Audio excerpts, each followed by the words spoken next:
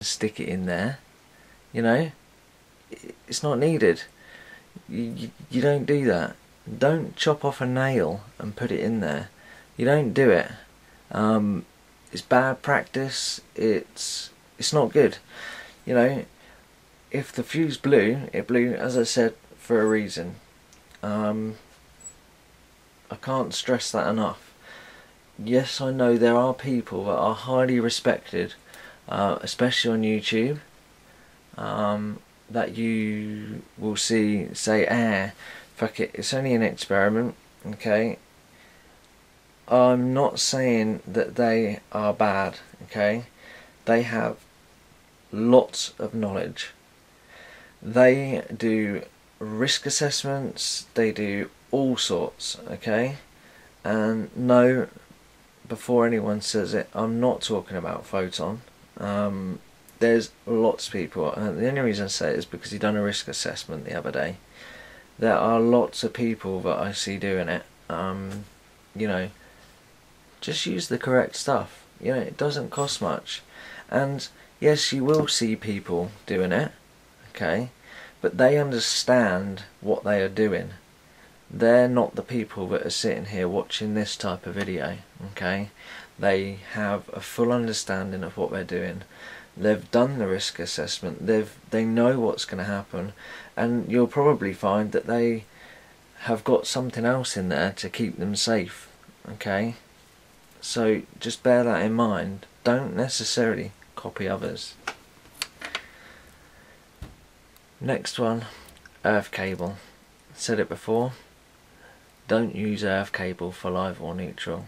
Only use earth cable for earth cable. Okay. Now, there's different size earth cable for you know different size loads. Different you know. There's so so many different earth cables. As silly. There's stranded earth cable. There's tri-rated earth cable. I'm not even sure that's right. Um, as I say, I'm not an expert on all on all this kind of stuff, but I'm giving you some common sense, and that's all it is. Okay, um, just common sense. It really is, and if you keep your head about you, um, as you guys know, I have to take strong painkillers.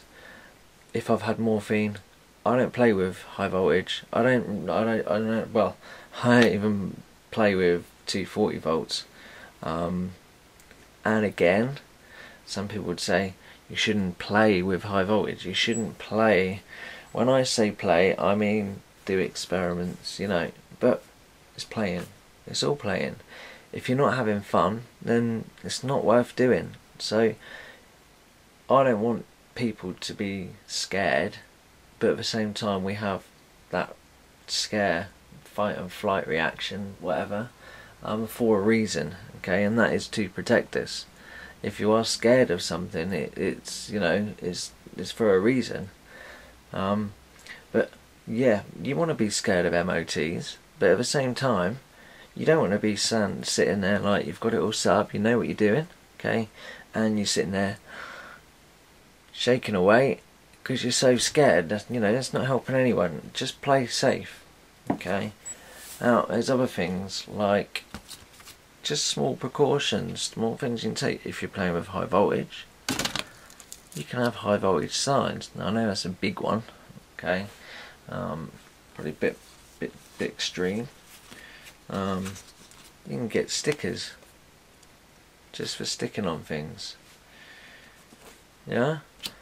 So use label, you know, label things. Um, you've all seen my Variac setup and you know I've got danger live part um, auxiliary ballast danger live part I've got over here um, I'm going to take you over there so you can see it because it's, it's, it's all important stuff really guys it really is um, you have to excuse me because I have to keep flicking my pens over got a thing here that says warning dual supply isolate both AC and DC before carrying out work. Both of those are supplying voltage, okay? Not now, obviously the Variac's not on. When it's on, you'll see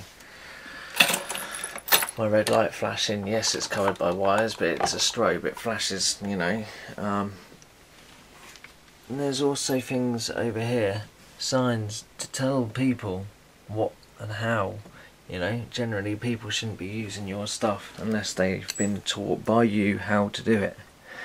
Um, you know, I can't I can't tell people what to and what not to do. I don't want people to think I'm being Mr. Um, righteous and almighty. You know, I don't know everything. I learn stuff every day. Um, now, this safety hasn't really covered everything that I'm sure there's people wanting to know about. Um, there's a lot more safety, okay? Um, now, I speak with Sparky Projects most nights, chat with him, you know, he's a really, really good bloke. Um, he's helped me out no end, he's taught me a lot of stuff. Um, we always sort of say, me and my mates, uh, Sparky included, obviously he doesn't say about himself, we always say, you know, if there's something you don't know, ask Sparky. It doesn't matter what it's about, ask Sparky and I do apologise, mate. I, I, don't want everyone sort of coming your way asking you loads of questions here. um, and Sparky always says, oh, I don't know everything, you know, I don't know everything. He knows most things. I haven't managed to ask anything, um, but he hasn't known an answer to. So, but even me, uh, I say that even me as if like I'm some kind of like expert. As I say, I'm not an expert at all. Okay, I really, I'm really not. Everything I've learned is self-taught, completely, completely self-taught. I started playing with high voltage um, years ago when I first wanted to build a Tesla coil. Um, and I've learned from there on in. You know, I've wired up complete houses that have had to pass the NEI, CIE, whatever it is, test. You know, and they've passed. So, um, but you know, it's, it's all common sense. Don't be afraid to ask. Um, and I'm going to put a couple of links at the bottom, or should I say in the description, to these because it's now going to be split up into two videos. Unfortunately, my camera splits it into 10 minute videos, which is a bit of a pain in the ass, but there. Um, I will be putting a link to some safety places um, say uh, like information sites basically. One of those will be Sparky Projects. He has, as I say, an extreme amount of knowledge. Um, he's given me permission to to use any of his work, say anything on his website, you know, to use his work and to try and get the point across and whatever. Which, thank you very much, mate. That's extremely kind a lot of people like to keep things to themselves. Like they make a new circuit, they're like, I'm not going to tell anyone how to do it. No, I don't. I don't agree with that. You know, I, I think sharing's good, and and I think it's extremely kind that Sparky said, you know, you can use my work. He's got a full-on website. You know, go there, visit it, have a look round it, read it. That is something I cannot stress enough.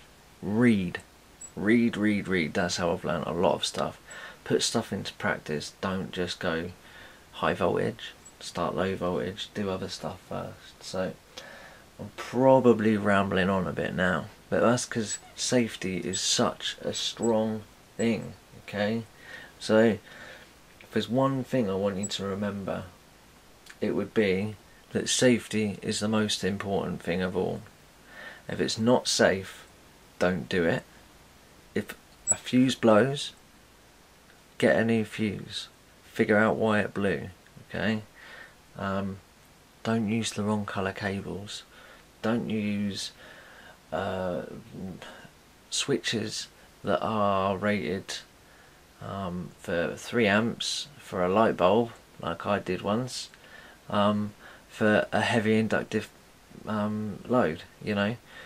Make sure you use things within their ratings and if you don't understand their ratings ask somebody, ask me, put in the comments. If I can't reply to you because of the stupid comment system, um, I will find a way. You know, I just ask, please do ask. So thanks for watching. I hope you enjoyed it and